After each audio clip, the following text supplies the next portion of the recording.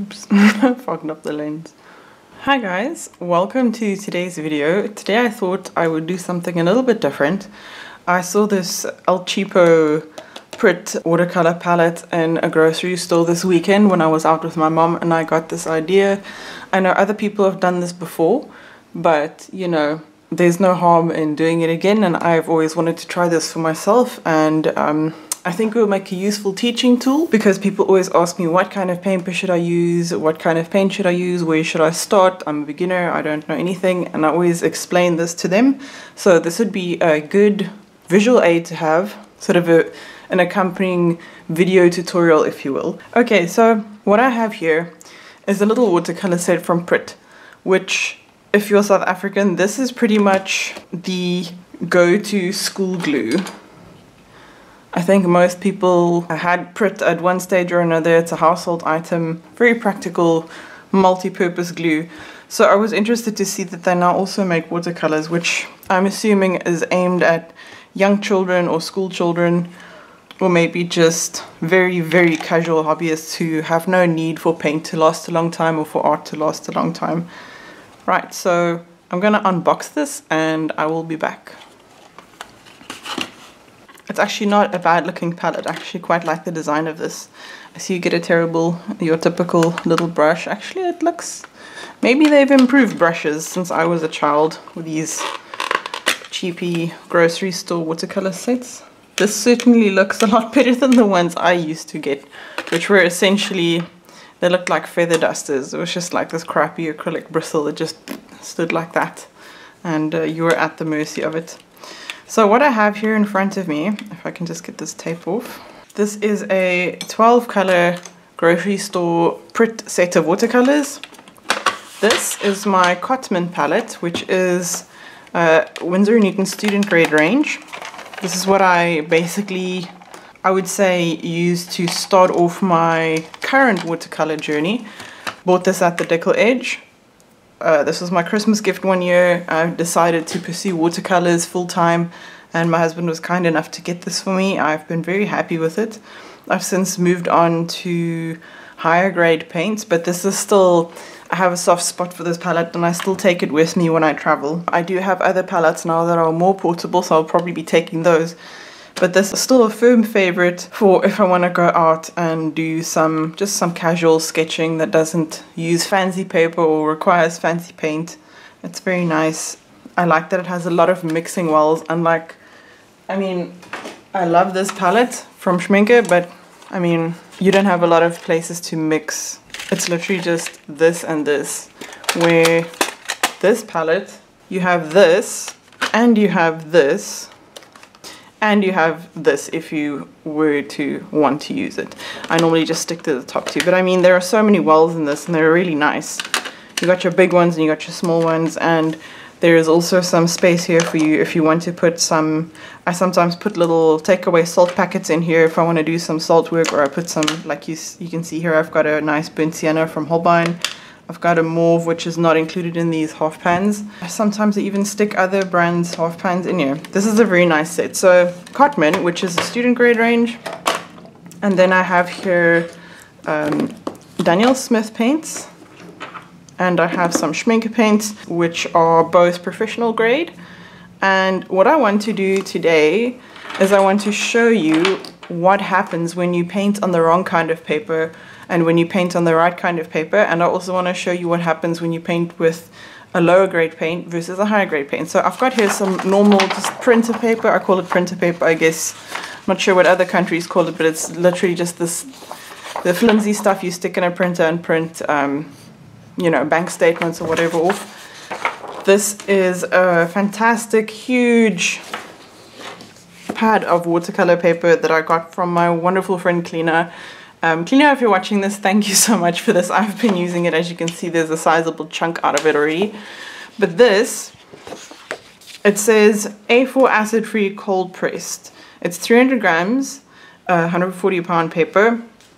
But this is not proper, proper watercolor paper. This is wood pulp. It is not a cotton content paper, which means Yes, it works for watercolor, but this is not what you would be using for a client's work if you want your work to last and to not degrade over time, wood pulp is something you want to avoid. This one definitely have sizing on it, which is a gelatin layer or similar that people put on watercolor paper in order to get the paint to not simply sink into the page, but to sit on top nicely so you can work with it. It's also the thing responsible for those nice little crisp edges. When paper is sized, paint will lie down on it and make these nice edges. Without sizing, well, you'll see what happens in a second. And then I have here some 300 gram Bockingford. It's a good mid-range paper. It's made by the St. Cuthbert's Mill in the UK. Um, I really, really like this paper for casual projects. It's a good paper. It's not extremely pricey and the finish on it is quite nice. It is unfortunately a little bit prone to buckling, but I mean that's just because I don't tape my pages and I work uh, with very wet washes. The description on the website lists it as 100% wood-free bleached chemical pulp. The paper, however, is listed as acid-free and archival, calcium carbonate buffered, pH 7 to 9, internally sized, meaning the sizing is not just a coat on top. I think they actually put it in the pulp of this paper. Um, four cut edges, natural woolen, felt textured, short grain, suitable for watercolor, acrylic wash, pastel, pen and ink, pencil and charcoal.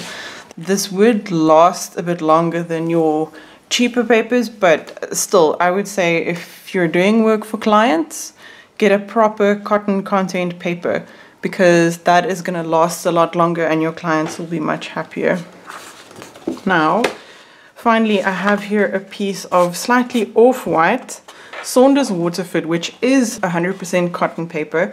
You can see it's quite thick as well. The one that I have here is 638 grams. I'm not sure what that is in pounds. It's quite thick and hence will not buckle as easily. This is a piece I've cut off a larger sheet. As you can see, they've got nice thicker edges when you buy the big sheets.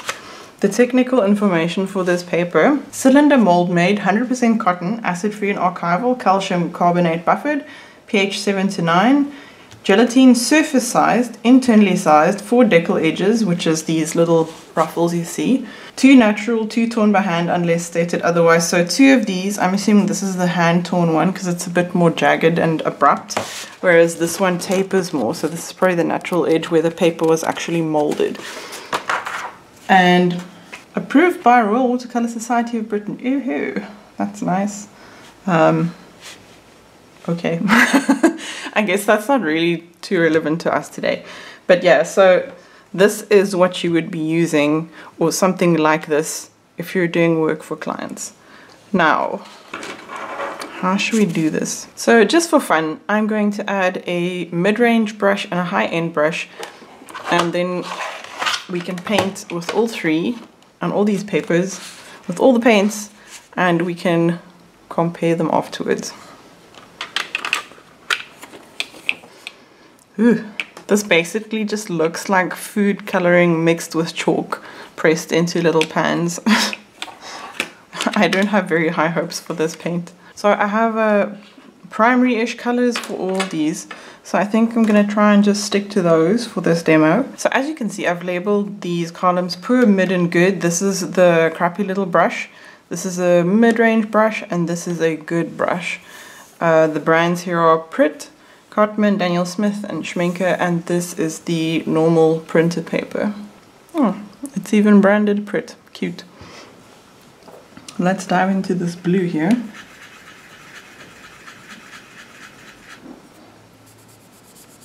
I can already see it's going down with a very chalky finish. It's very pasty, if I can put it that way. The color isn't bad though. It's certainly more vibrant than the old sets I was used to. You can already see the paper starting to buckle. It's already not looking great. And as you can see, the paint just gets sucked into the paper. There's nothing lying on top. And um, making it easy to work with. Pretty much where you put the paint down is where it's going to stay. Let's try this red which upon wetting seems more like orange to me.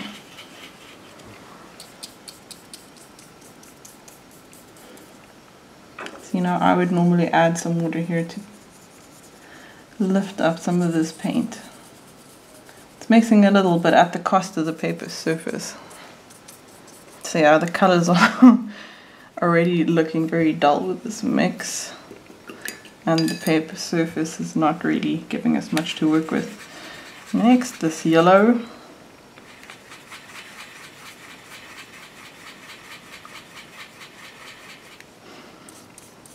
Hmm, yellow is actually not bad looking. But again, the surface of the paper is not conducive to re-wetting and lifting and doesn't stand up to a lot of abuse, you know. I'm really I'm trying not to rub across the surface of the paper too much, so I'm pulling, but even just putting the tip of the brush down, the moment it hits the paper I can feel it disturbing the fibers.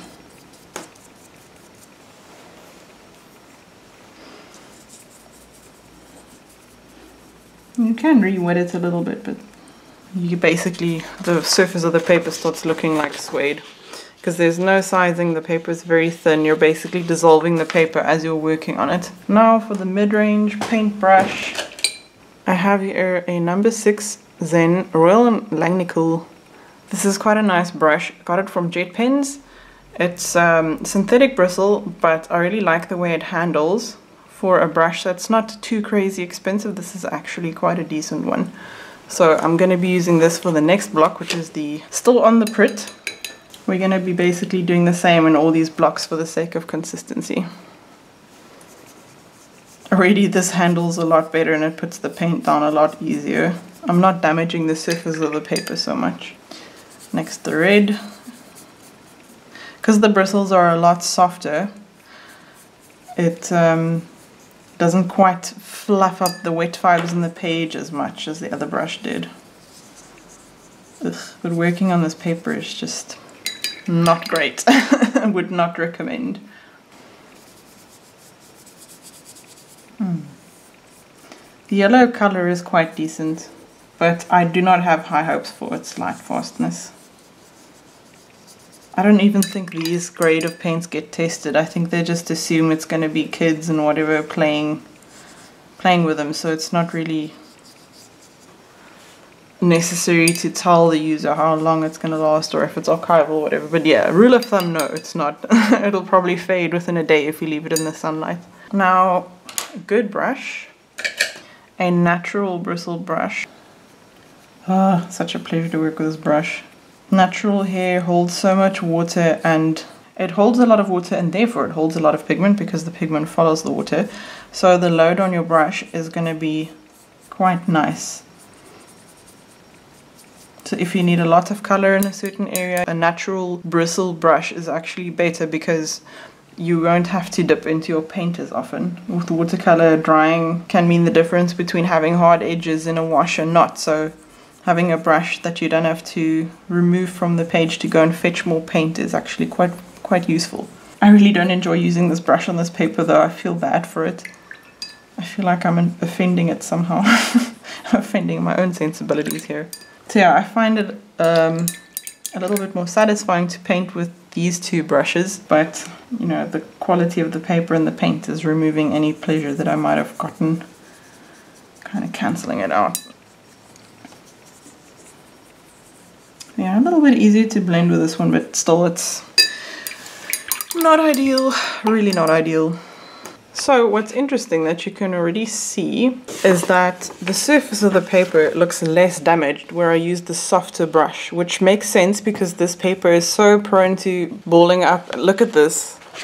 Can you see that where the hard edges of the cheap brush actually started lifting up the paper? The softer brush also did it, but not as much. And the softest brush, the natural bristle, ended up hardly doing it at all. I mean, a little bit, but you can definitely see tiny little balls of paper forming on the other colors.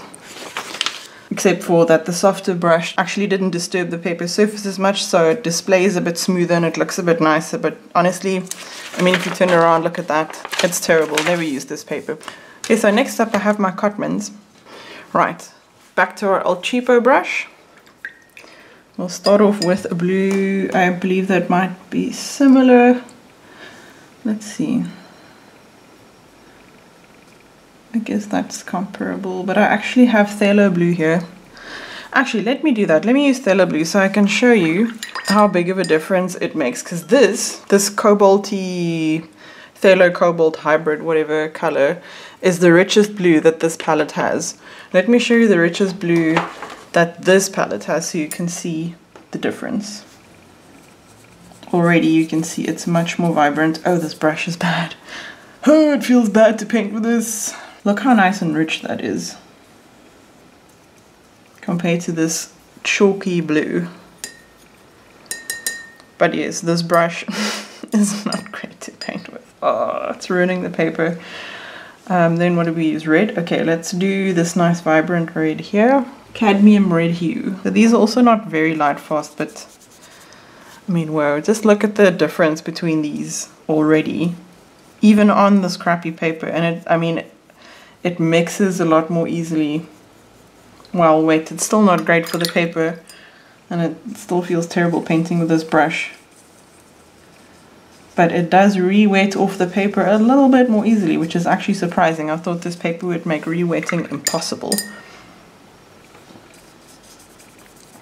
Visually, this yellow looks kind of similar to a mix between the lemon and the cadmium yellow.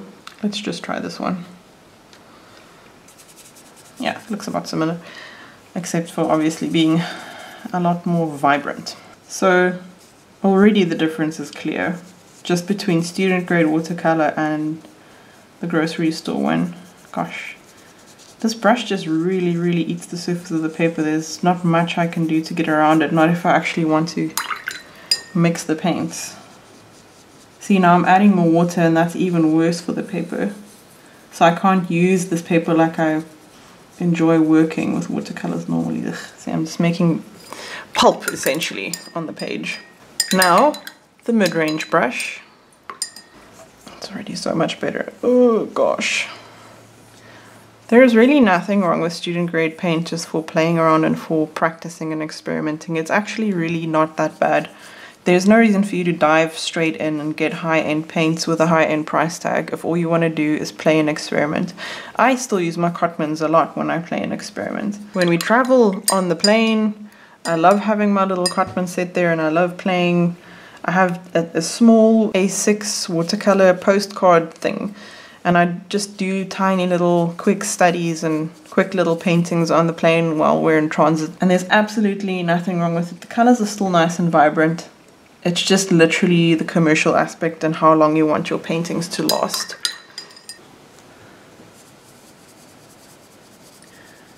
mixing with this brush on the page is a lot easier because I'm not using the tip of the brush like like with the other one essentially scrubbing up the paint and mixing it around I am using the flat side of the bristles to gently nudge up the paint.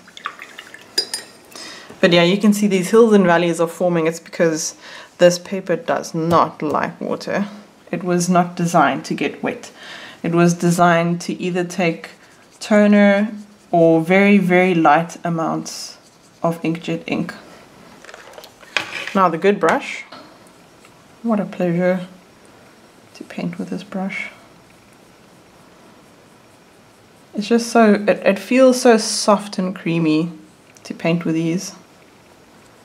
I understand if you're vegan or you have a problem with these brushes in principle, there is no need to spend hundreds or thousands on fancy animal products, fancy, you know, sable hair brushes, if you have a principal problem against it or you can't afford it or whatever, whatever reason you have for not wanting to get these brushes, that is 100% fine. You can create masterpieces with you know, standard synthetic bristles and with, you know, lower end brushes. Just as you can see, if you go too cheap, it's not going to be great for the surface of your paper and it's going to be frustrating for you as an artist because you're going to have to keep dipping into your paint and the marks won't be nice and even. It's, it's very difficult to work with such a stiff bristled flat top brush like this.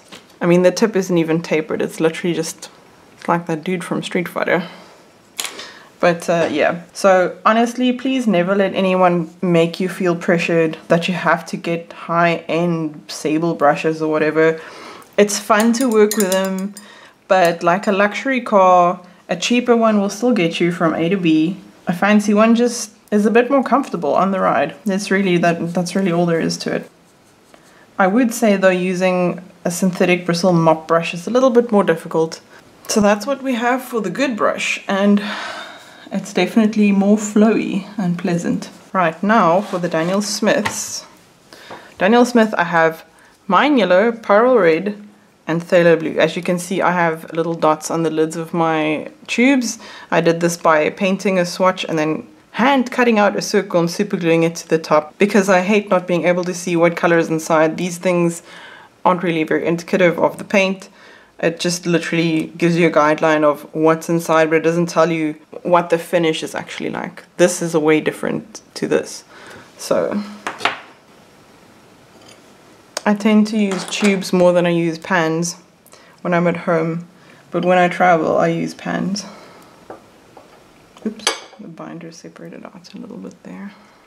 That's the problem with the tubes. If you leave them for longer then the binder comes out, binder separates out and you end up squeezing a whole bunch of gum arabic onto your palette before the paint actually comes.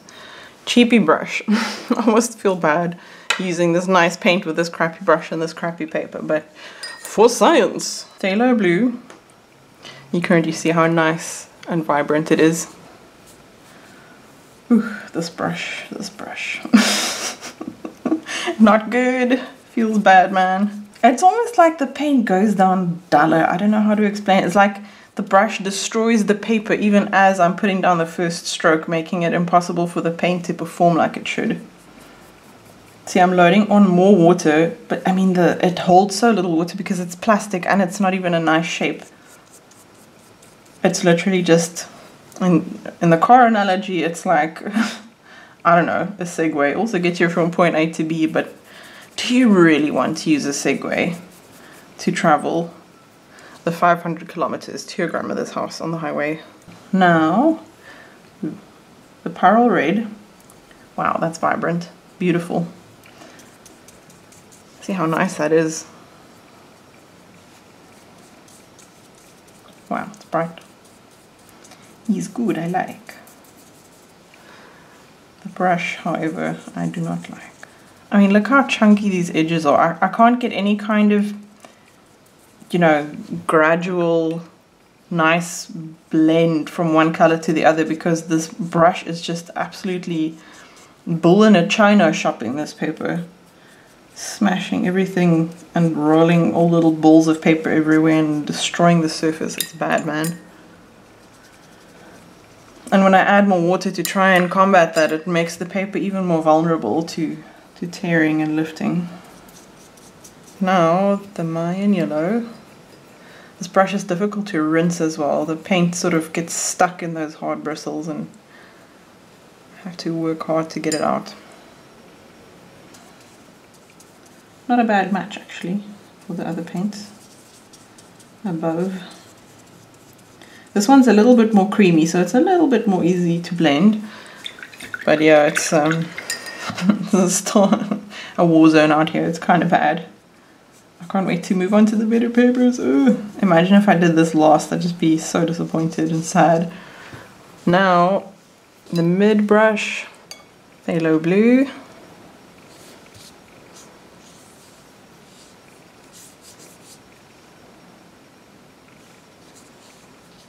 Not much to add from the previous experience, very similar. Just gonna add a little bit more color. Phthalo blue is so beautiful. It's one of my favorite colors ever. Now Pyrrol red. It's so much easier to blend with this.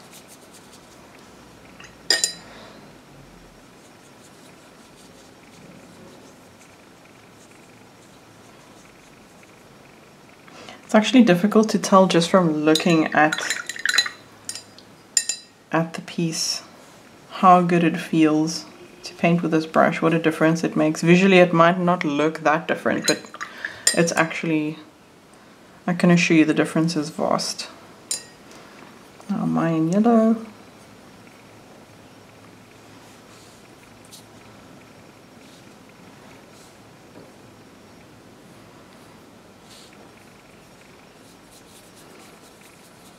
Got a little contaminated there, but that's okay. I mean, just look at this. The edges, I mean, I spoke too soon. I guess this edge isn't lifting because it's already sunken into the paper and lost to me forever, which is another reason why sizing is so important. But, I mean, look at this. makes such a difference. Right, so, nice brush again. Phthalo blue.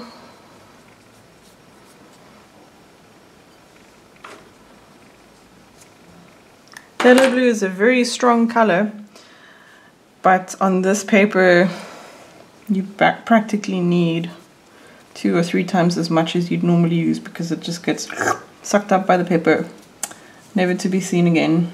So all the paint that you thought that you would have to work with just disappears on you. That's why I'm trying to work as fast as I can. Pyrrol Red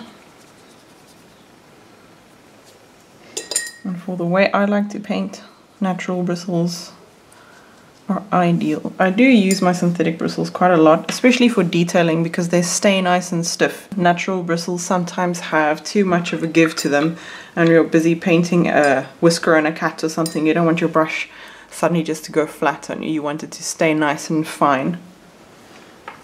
Mayan yellow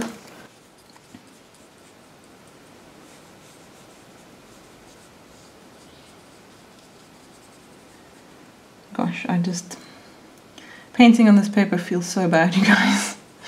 it's just not fun. It's not a good time. I'm not gonna waste too much time trying to blend that in. Actually, me just try this little area here. Now for the Schmincke, chromium yellow hue light, phthalo blue for the sake of consistency, perylene dark red. Back to the crappy brush. Let's start in the bottom corner, shall we? Maybe I should start all of them from lightest to darkest. That actually makes a lot more sense. I'll do that from the next one on. The Perylene Dark Red. So you can see the colors go down nice and vibrantly, but the paper is just such a crappy quality that it ends up dulling down significantly.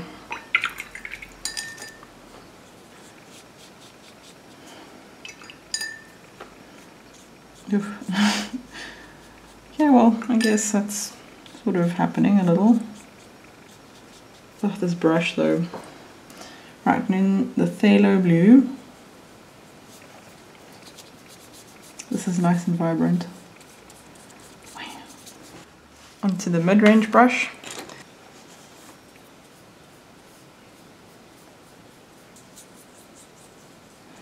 put on a little bit so that I can try that blend again. Okay, the Perylene red. Hmm. Blends a little bit better, but still not ideal.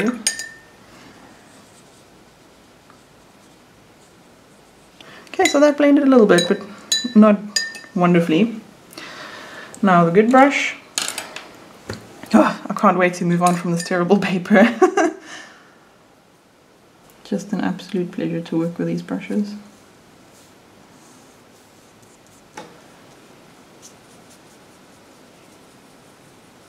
A little bit of blending going on, but not too much.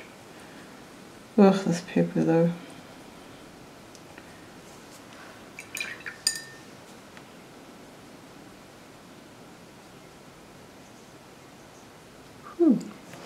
We're done. Oh no, I'm sorry, that was out of shot. You didn't miss much, it's, it's very similar to the ones above. So here we have our completed printer paper swatch test. Good lord, this has been unpleasant.